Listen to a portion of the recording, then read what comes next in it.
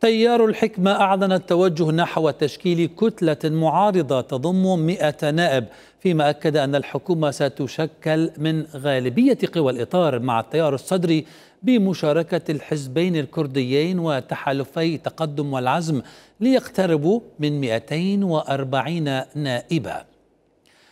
القيادي في التيار فادي الشمري أعلن في تدوينة أن الحكمة وقرابة مئة نائب من ساحات متعددة